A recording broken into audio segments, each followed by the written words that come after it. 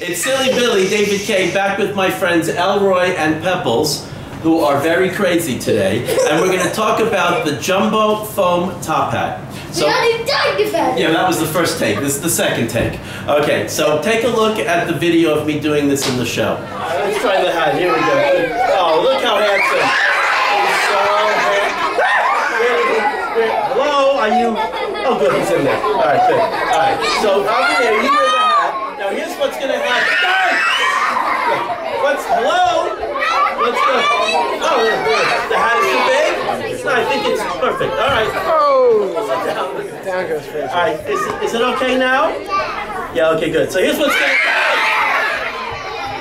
Oh, sorry. All right, we don't need this. All right. So you see, it's very, very funny. Now, a hundred years ago, in the heyday oh of magicians, uh, people in the audience wore top hats, and so did magicians. They wore top hats. And so this gag was very prevalent back then. If you wanted to do the gag a hundred years ago, calm down, calm down, uh, you had to carry around a big, uh, firm hat. But now, you do the same gag, but with a foam top hat. Let me borrow one of these. First of all, uh, when you get it, you're gonna steam it out and all the, all the wrinkles come out. So it's made of foam, see? So you squish it into your case and, it's, and then when you get to the next gig, it's as good as new.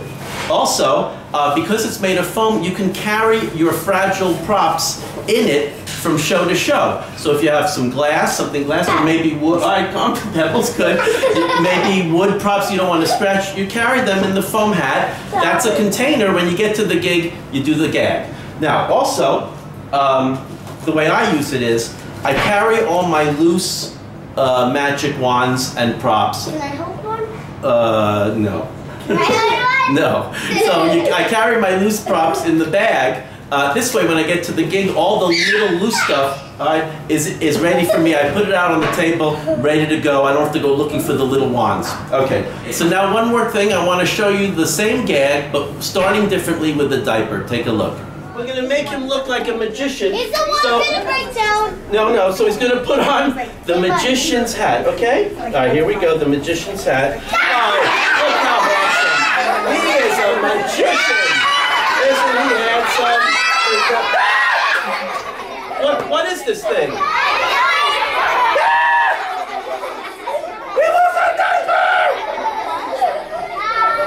let's try the hat. Here we go. Oh, look how handsome. It may not be your style. Don't do it. I, I, you don't have to do it. But if you do, it, it's another joke.